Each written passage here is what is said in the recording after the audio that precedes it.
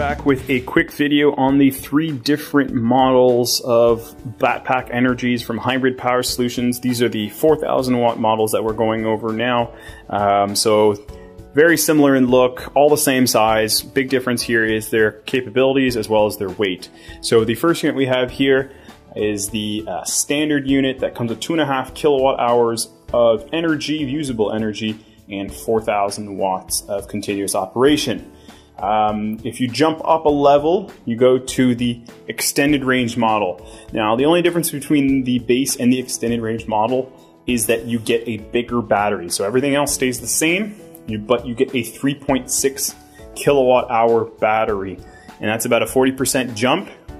Uh, you get about a 10 pound, 10, 15 pounds, or 5, 7 kilograms uh, upgrade in weight or additional weight.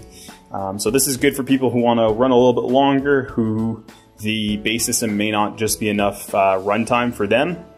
Um, same uh, same enclosure, same you know power output, 4,000 watt continuous, uh, just a bigger battery. Uh, the nice thing is when you do jump up to to this level, you do get also a battery that has 3,000 cycles until 80% discharge versus the standard 2500 on the base model.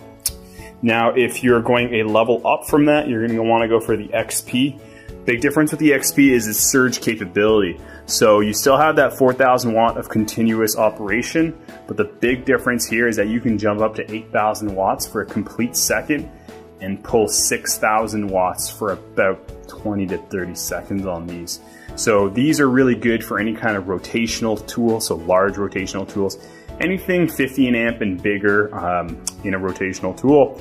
So that could be anything from a uh, very large shop vac to a coring drill.